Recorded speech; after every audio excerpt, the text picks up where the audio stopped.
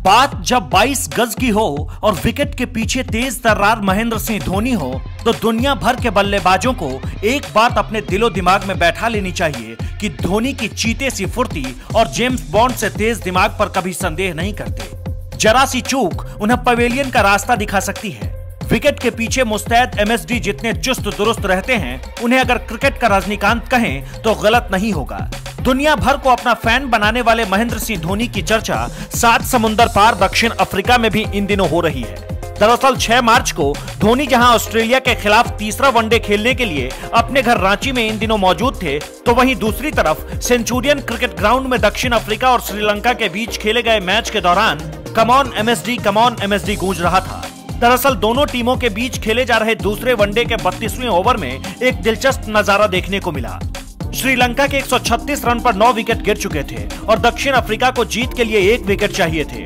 गेंदबाजी कर रहे इमरान ताहिर ने जैसे ही तीसरी गेंद फेंकी, वो श्रीलंकाई बल्लेबाज को छकाते हुए विकेट कीपर डेविड मिलर के दस्ताने में समा गई और उन्होंने बिजली की तेज़ी से बल्लेबाज की गिल्लियाँ बिखेर दी। डेविड मिलर की यह फुर्ती देखकर कप्तान फाफ डुप्लेसिस को महेंद्र सिंह धोनी की रफ्तार की याद आ गई और स्लिप में खड़े डुप्लेसिस ने मिलर को चीयर करते हुए कहा कमॉन एमएसटी डुप्लेसिस ने यह तारीफ़ महेंद्र सिंह धोनी की यूँ ही नहीं की थी।